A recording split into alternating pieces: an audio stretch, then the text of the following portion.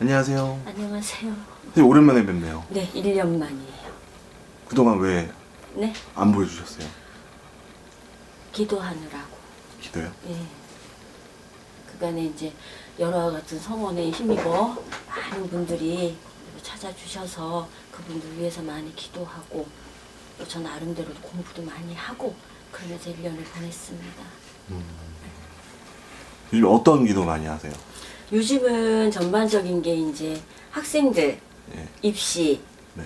또그 다음에 또 임용고시 조금 큰 친구들은 임용고시 음. 그거 준비하는 친구들 그 다음에 이게 나가는 삼재에 몸수로 치셔서 건강이 많이 안 좋으신 어른들이 많으셨어요. 어. 이제 그분들 이제 여러 가지 수술하시고 이러는 거에 관여되어서 그분들 몸수라도 편하게 수술 마무리 잘 되시라 네. 그런 기도들 많이 올리고 예 그러고 잘 지냈어요. 요즘에 삼재 때문에 다들 난리신데 그러니까요. 이거 그냥 음. 넘어가면 안 되는 거죠. 삼재, 삼재는 어떠한 방향이든 삼재가 들어오는 삼재, 누른 삼재, 나가는 삼재가 있을 때 분명한 건 삼재는 치고 나간다는 거예요. 어떠한 방법으로라도.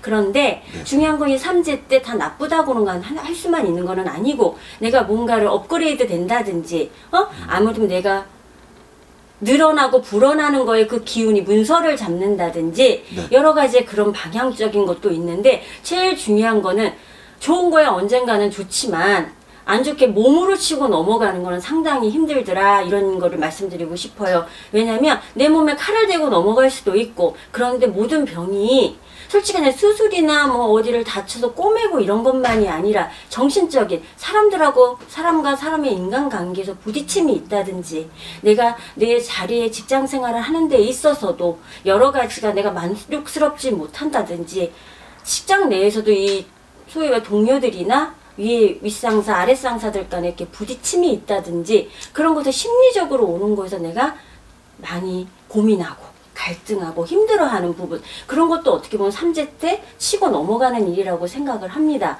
그 다음에 또 중요한 거는 이런 삼재가 들어오고 나갈 때 있어서 내 마음에서 어 삼재라고 해서 뭐든지 나쁜 것만은 아니니 좋은 기운으로 좋게 내가 될 수도 있는 부분도 있고 하지만 나쁘다고 하고 안 좋다고 할 때는 조심하고 넘어가는 거. 그런 거는 이제 사람들과의 말하는 거 있어서 내가 조금 구설시비 망신수가 차고 들어올 수도 있으니 말하는 데 있어서 조심하고 넘어가는 부분도 있고 행동이나 그런 거에 있어서 운전이나 뭐 소위 말해 술도 마실 수 있고 여러 가지 뭐 여행을 간다든지 이런 부분이 있을 때 그런 것도 여행 가는 거를 내가 좀 조심해서 간다든지 술 같은 걸 먹을 때 운전대를 잡는 이런 건 해, 절대 해서는 안 되지만 그런 것도 좀 생각하고 조심하고 넘어가야 된다든지. 그리고 제일 중요한 건 이런 삼재가 들어오고 여러 가지가 있을 때 뭐 조상에 관련되어 있는 산탈이나 이런 것도 무시는 못하니 뭘 만지고 다루고 집을 다룬다든지 만지고 다루는 데 있어서도 조금은 조심하고 넘어가고 어 지나고 생각해 보는 것도 괜찮겠다 그런 말씀을 드리고 싶어요. 그런데 이건 여담인데 네. 어떤 분이 와서 그러시더라고요.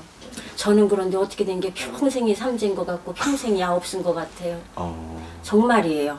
꼭 삼재 때만이 아니라 네. 늘 인생을 살아가는 데 있어서 부딪힘이 너무 많고 난 나름대로 열심히 최선을 다해서 살았는데 얻어지는 게 없고 힘들기만 하고 난 왜 이렇게 맨날 고생만 하나 왜 모여지는 돈은 없을까라는 그런 거에서 많이 고민하시는 분들이 있는데 삼재를 떠나 모든 걸 다 떠나서 내 마음가짐에 달려 있는 것 같아요. 삼재라면 조심하고 넘어가면 되는 거고 힘들고 어렵지만 난 할 수 있다라는 힘을 가지고 어? 긍정적인 생각으로 풀어간다면 그래도 눈에 확확 띄는 거는 아니겠지만 조금씩 조금씩 조금씩 가면서 좀 편안해지지 않을까 그런 마음을 저는 늘 오시는 손님들이나 어? 또 제갓집들이나 급하게 가지 말고 천천히 천천히 가보자 이렇게 말씀을 드리거든요. 네. 음.